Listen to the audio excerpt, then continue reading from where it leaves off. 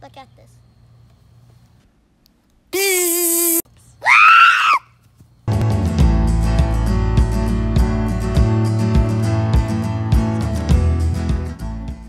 Hello, welcome to Levi's Vivo program. We found a, a green June beetle. We found another one flying right there. And he, um, he's going to say, hello. Hello. They're in metallic green and brown. He has pairs of wings under his shell. He has two antennae in the front. The green June beetle has six legs.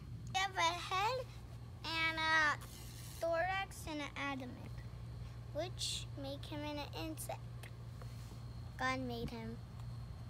June beetles eat fruit. No, they're not good for the.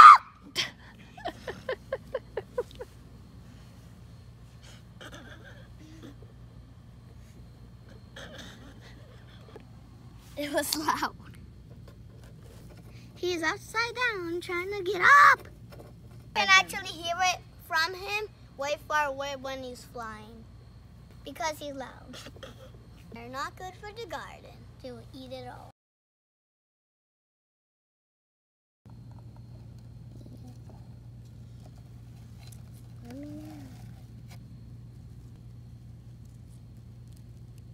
Digging, he's digging. Look, he's digging. He put grass in his box.